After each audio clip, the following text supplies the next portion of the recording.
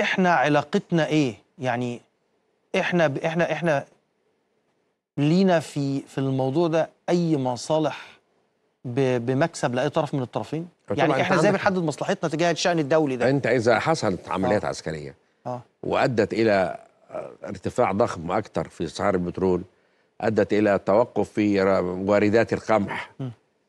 ما أنت عندك أوكرانيا وروسيا الاثنين دول مصدرة للقمح.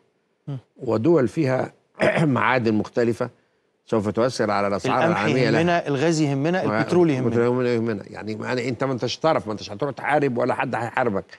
إنما هتدفع الثمن وبعدين دلوقتي الحرب كونية.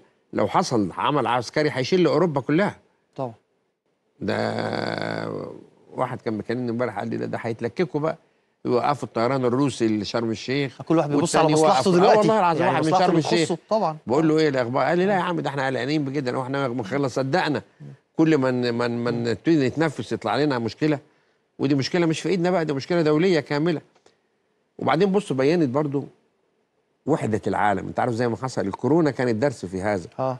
إن هو ال ال ال ال social media بتنقل الأخبار بشكل لحظي.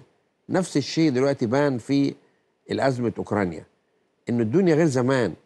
إن تبص تلاقي لحظة بلحظة العالم كله بيتابع ما يدور. صحيح. وأصبحت قضية مشتركة للمواطنين في كل دول العالم. إحنا من إمتى يعني نتقابل بينا وبين بعض؟ فنتكلم عن أوكرانيا وروسيا. آه. بتاع إيه يعني؟ يعني ده ده السواق اللي معايا بيقول لك أوكرانيا هتحارب يا بيه يعني ودخلنا في مرحلة بقى وصلت إلى المواطن اللي man in the آه. street إنه بيفكر في هذا الصراع. هو العالم اتغير. إحنا تاريخيا عندنا تعاطف مع روسيا يا فندم. أنا بتكلم هنا على مستوى آه، الرأي العام ومستوى الشعبي. أصل الناس دايما تقول لك يعني الناس دايما في وسط النقاشات تقول لك إيه؟ هي عايزة حد يقف للامريكان إحنا تاريخيا عندنا الحكاية دي. لا إحنا مش biased للروس طول عمرنا. مش بتكلم على السياسي على المستوى المصري العادي الشعبي. مستوى الشعب العام.